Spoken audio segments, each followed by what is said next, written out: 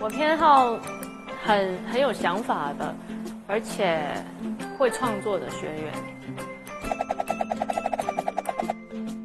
我觉得我是看学员的，区别对待，因为必须要区别对待啊。就是有些人你不硬，他就是不听；但是有些人你硬，他怕怕影响舞台上面的表演是不好的。有些人是需要鼓励的，有些人是需要强迫的。